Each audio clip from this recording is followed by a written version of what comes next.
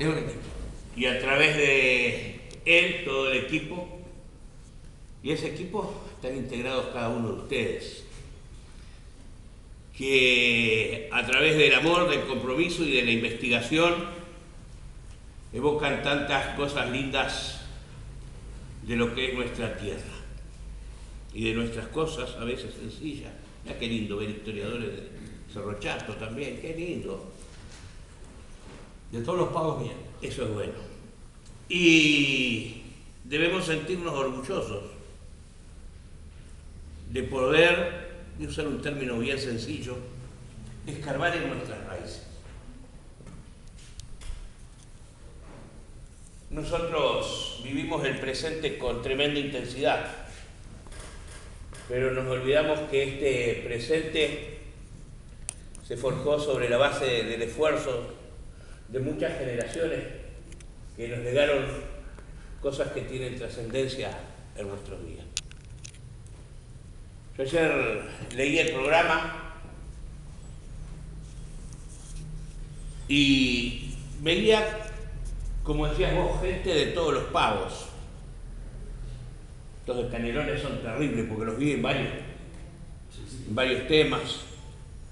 Vi gente del litoral, vi uruguayos, orientales, no podemos perder esa palabrita de decir orientales, porque somos orientales, dice así, República Oriental, primero somos orientales y veía los temas que allí planteaban y que allí trataban. Quizás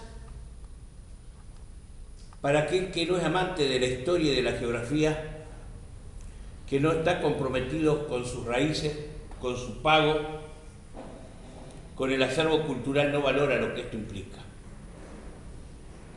Eran como pequeñas perlitas de un rosario que se conjuga para formar una realidad mucho más amplia.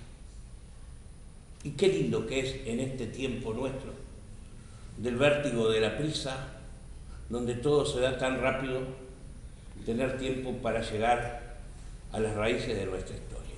Y más lindo, Oscar, que se denomine geohistoria. Para quienes somos un poco más viejitos,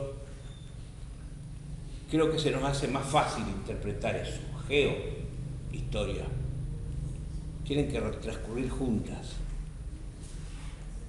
Forman parte de un elemento unificador. No podemos hablar sin historia, de historia si no la asociamos con un pedazo de nuestra tierra, ya sea de nuestra tierra grande o de nuestra tierra chica, de nuestra patria Uruguay o de nuestra patria Pago. Muchos de nosotros seguramente y otros no lo entenderán, tenemos mucho más sentimiento de pago que de patria. A mí me da vergüenza decirlo a veces y pido disculpas. Soy oriental, soy uruguayo, pero tengo un orgullo de ser uranense, pues yo todo lo que tengo se lo debo a esta tierra. Entonces tengo que decir con orgullo que me siento profundamente de uranense. Y no mucho más que esto, darles la bienvenida, que disfruten que compartan esas experiencias. Este es el tercer encuentro. Este, esta tierra nuestra y esta casa presidencial de don Frutos Rivera les da la bienvenida. Acá ustedes, aspirando nomás, van a sentir en vuestro corazón, en vuestro espíritu y en vuestra alma historia viva y estoy seguro que se van a inspirar, que van a encontrar la palabra justa, la comunicación adecuada para llegar a todos nosotros.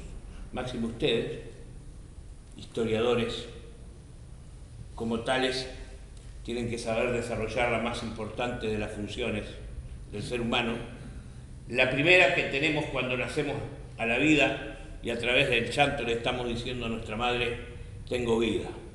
Esa función es la comunicación.